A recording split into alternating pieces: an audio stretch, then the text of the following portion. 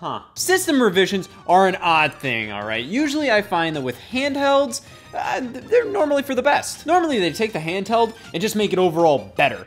You know, stuff like the new Nintendo 3DS and 3DS XL and the Game Boy Advance SP. Questioning your faith? Check out the Nintendo DS Lite. However, with home consoles, it generally kind of feels like home console revisions are generally just to get kind of get that console cheaper and they remove a bunch of features and they're generally the less desirable version even when like design wise they may be superior uh, look at the NES to the NES top loader the revision here in North America you know that version of the NES was significantly better in nearly every way. However, it did not have AV out. You had to use crusty ass RF. Oh my god! Same deal with the SNES to the SNES Junior, as uh, many call it. You know, like, overall, uh, I do feel like the downgrade is significantly less severe than from the NES to the NES top loader. Uh, however, with design-wise, gross. And also, video quality just isn't as good on that thing. But then you have things like the PlayStation line of systems, the PS3, from PS3 to PS3 Slim to PS3 Super Slim. Uh, I think the PS3 Slim is generally considered to be the best overall uh, in, in terms of reliability and just overall design. However, the original PS3 had so many features and just so much garbage crammed into it that it's kind of hard to look at that and look at the PS3 Slim and not really see that as, eh, you know, a bit of a downgrade. It may be more reliable, but it doesn't have a that card slot. But sure, there are some good home console revisions, mainly the Xbox line. Xbox 360S is you know the best Xbox 360. The Xbox One S was a considerable upgrade from the original Xbox One, and the Xbox One X was a considerable upgrade from that. But we're not talking about good revisions today. We're gonna talk about one of the most useless and worthless versions of the Wii to ever exist. In fact, I'd say this is the most worthless. Of course, there are three versions of the Wii. You have the original Wii, this, and the Wii Mini. And the Wii Mini is generally considered to be the worst version of the Wii. That one had a bunch of stuff taken out, no internet connectivity, nothing like that. But the Wii Mini had personality. This is is like I don't know. This is considered to be the Wii Family Edition. Uh, I don't think that's the official name for the thing. Most people just call it the Family Edition, and uh, that name was pretty much coined because uh, I believe there were a bunch of bundles this released in uh, in Europe where they called it, oh, the Family Edition bundle, where it came with like a game or something like that. And uh, people just said, oh, okay, just call it the Family Edition because I think the actual code name, uh, yeah, we're just gonna call it the Wii Family Edition. This revision occurred in 2011. I believe Nintendo officially announced it for North America alongside uh, a Nintendo Select lineup of games. You know, classic Wii games for 20 bucks a pop. So this was a very budget-conscious announcement from Nintendo, uh, mainly because this Wii was only $149.99. The Wii itself was retailing for around $199.99 around the time, so this was yet another price cut for the system, uh, 50 bucks off. However, with that price cut came a reduction in the feature set. This Wii lacks GameCube compatibility. No GameCube ports, no GameCube memory card ports. You can't put a GameCube disc in. If you just put a GameCube disc in this, it'll just spit it back out. Uh, yeah, that, I mean, I mean, to be fair, the Wii wasn't winning its main market over with the fact that it had GameCube compatibility in here. Uh, people weren't buying a Wii in 2011 because, oh, I can play my GameCube games on this thing.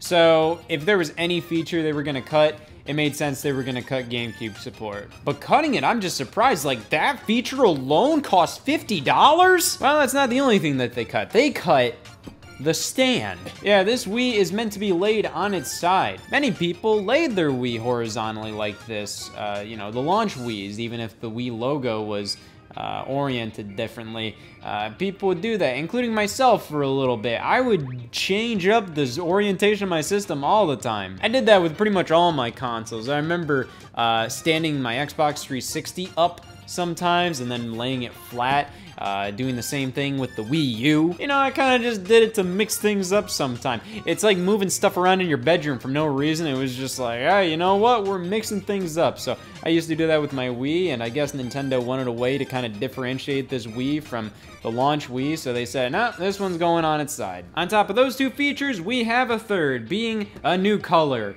blue. Anybody remember when the Wii was originally uh, announced? They actually showed uh, numerous different colors of that thing. Green, but for the longest time, Nintendo literally just did white Wii's.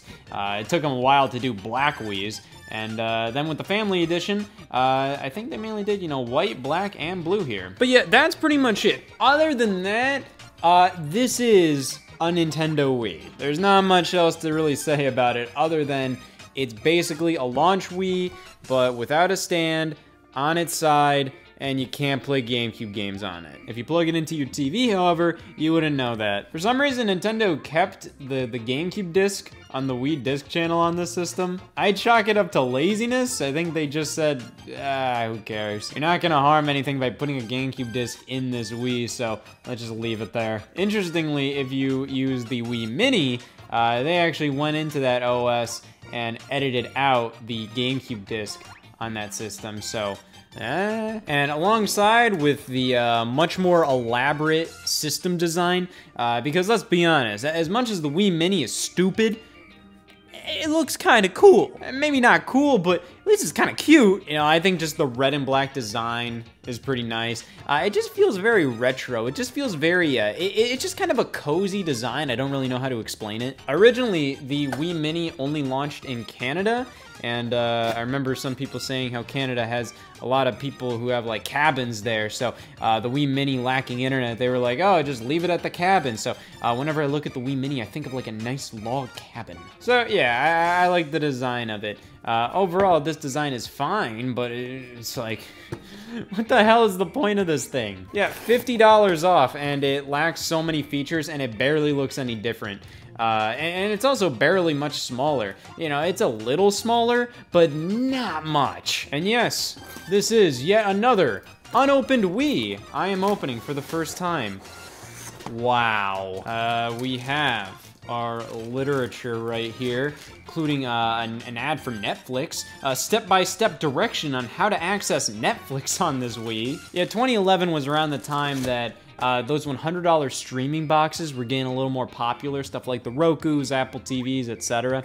And uh, I think a lot of people decided not to get those because they realized their Wii can do Netflix. So for 150 bucks, uh, getting this Wii and uh, playing, you know, Wii games on it, but also being able to stream Netflix, you know, not a horrible offer. Look at this.